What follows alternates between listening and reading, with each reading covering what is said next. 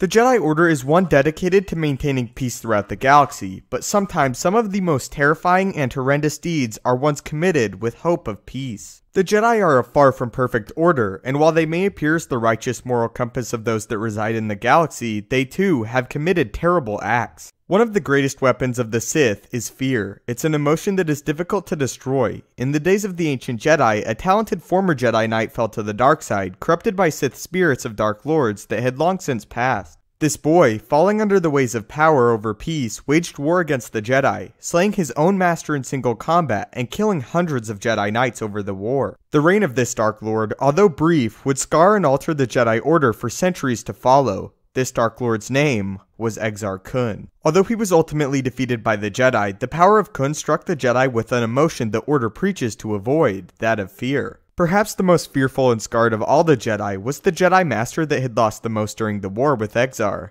Not only did she lose her husband Barristan, but Kun also killed her master in single combat, despite pleas to return to the light. This Jedi Master's name was Krynda Draay. Although becoming more distant from the Jedi Order following the war, Krynda's son Lucien was trained in the Jedi ways, and Krynda also trained another Force sensitive due to her rare ability of foresight, which Krynda shared. This ability is one that allowed a practitioner to glimpse into the past, or the future, similar to the dreams that Anakin Skywalker would experience later in the timeline. Krynda trained her student as a Jedi Seer, also gathering other similarly gifted Jedi, in large part due to a premonition Krynda received that indicated that there was a group of Jedi among them capable of foiling any future plan of the returned Sith. This group that Krynda formed was known as the Jedi Covenant and was only spoken of in the dark sections of the Jedi Temple. This group of Jedi also trained other Padawans of their own, and after some years passed, they approached the rank of Knight. As a final test for these students, the Jedi Padawans had to venture on their own to a planetoid known as the Rogue Moon, where the Force was extremely powerful. While awaiting the arrival of their students, the Jedi Covenant meditated and tapped into the Force due to it being very powerful. Not expecting anything significant, the Jedi were flooded with visions of fire and death as they saw the brutal murders of each member of the group. The Covenant also witnessed the entirety of the Jedi Order as well as the Republic burned to the ground. Each vision, although varied, shared one commonality. Each death that the Jedi saw was conducted by a dark figure in a crimson cloak. It's what we've been watching for the Sith.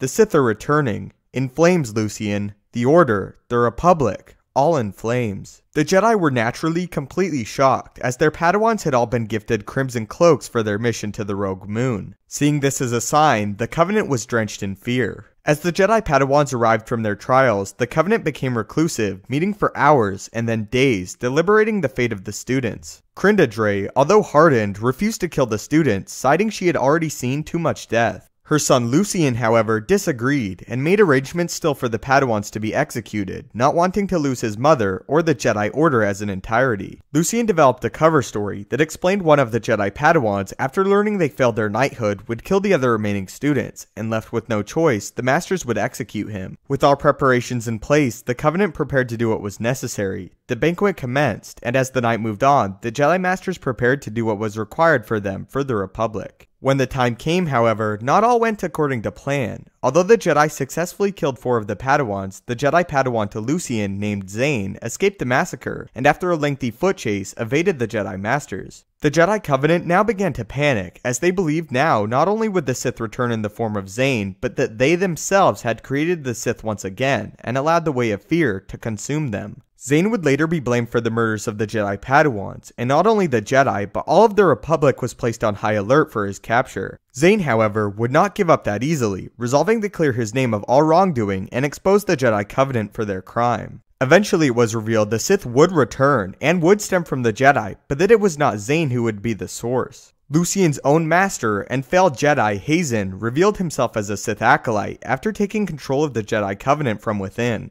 Partially, the vision the Covenant experienced would come to pass, as both directly and indirectly, Haazen killed the members of the Covenant, with the exception of Lucien, who with the help of Zayne banded together to defeat Haazen. After Haazen's death, Lucien resolved to create a wholly pure Jedi Order and attempt for the rest of his life to make penance for his great sin of the Jedi Massacre, Proving everyone wrong, Zayne forgave his master. It was later hypothesized that what the Jedi Covenant saw was the rise of Darth Sidious' Sith Empire, as the Jedi would be destroyed along with the Republic, although this would not occur until nearly 4,000 years later. So that is why at one point in time, ancient Jedi chose to execute their students, being driven to a point of desperation after the evil they experienced at the hands of Exar Kun, and unwilling to go through it again. So what do you think of this event, and the great sin of the Jedi? A lot of the time, the Jedi are viewed as this good perfect order, and I kind of wanted to highlight one of the darkest moments in their history. If you enjoyed the video and feel it deserves it, I would really appreciate it if you could leave a like, as it helps me out a great deal. If you haven't already, maybe consider subscribing to ensure you stay up to date with everything Star Wars related, from news, theories, and explanation videos. If you would like to interact with me directly, the best place to do so is on Twitter, at StupendousWave.